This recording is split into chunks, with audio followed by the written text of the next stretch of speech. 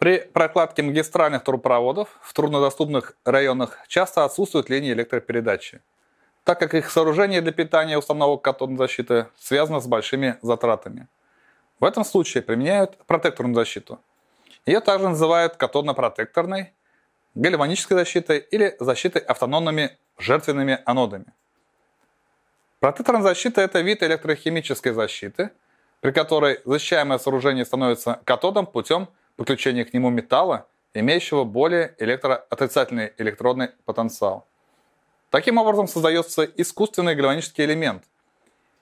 Электролитом в этом случае является грунт, в который укладывают трубопровод и протекторы. Протекторные установки могут выполняться в виде одиночных и групповых протекторов, а также в виде протяженных лент – так как мощность одного протектора невелика, то в проектах по защите от коррозии подземных металлических сооружений рекомендуется размещать их группами, не менее трех штук в группе. Протекторные установки рекомендуется устанавливать в грунтах с удельным сопротивлением, не превышающим 50 Ом умножить на метр. Стабильная работа протекторной установки обеспечивается при установке протекторов ниже глубины промерзания или высыхания грунта.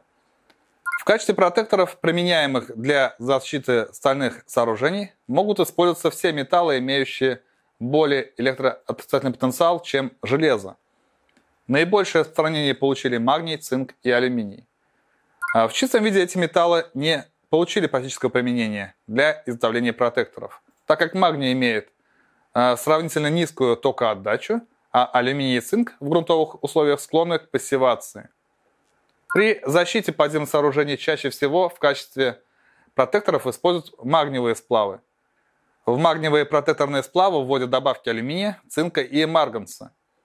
Алюминий улучшает литейные свойства сплава и повышает механические характеристики, но при этом немного снижает потенциал. Цинк облагораживает сплав и уменьшает вредное влияние таких примесей, как медь и никель, позволяя повышать их критическое содержание в сплаве. Марганец вводят в сплав для осаждения примесей железа. Кроме того, он повышает токоотдачу и делает еще более отрицательным потенциал протектора. Основные загрязняющие примеси в сплаве, такие как железо, медь, никель и кремний, увеличивают саморастворение протекторов и снижают срок их службы. Эффективность работы протектора увеличивается при установке его в специальные смеси заполнители, которые называются активаторами – Активаторы служат для снижения самокоррозии протектора, уменьшения анодной поляризуемости, уменьшения сопротивления растеканию тока с протектора, предотвращения образования плотных активных пленок на его поверхности. Таким образом, повышается коэффициент полезного действия протектора, то есть срок его службы. Основными компонентами активаторов к магниевым сплавам являются глина, гипс, эпсамид и мирабелит. На один протектор используется от 40 до 60 кг активатора. Мирабелит несколько снижает коэффициент полезного действия магниевых протекторов и применяется только при отсутствии эпсамита. Для предотвращения вымывания солей в процессе работы протекторной установки в активатор вводят глину и гипс. В настоящее время чаще всего применяются комплектные протекторы типа PMU, например, PM5U, PM10U и PM20U. Цифры 5, 10 и 20 в маркировке протектора показывают вес протекторного сплава. Протекторы изготавливаются с электродами из магниевых сплавов повышенной и высокой частоты, таких как ML16, ML16PC, ML16VC, ML4VC и сплава МПУ. Комплектный протектор представляет собой электрод с соединительным проводником и порошкообразным активатором, находящимся в полиэтиленовом мешке.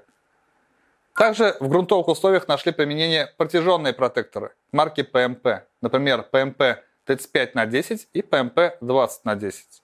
Они представляют собой полосу из сплава магния, которую укладывают в одну траншею вместе с трубопроводом или в траншею на некотором расстоянии от него.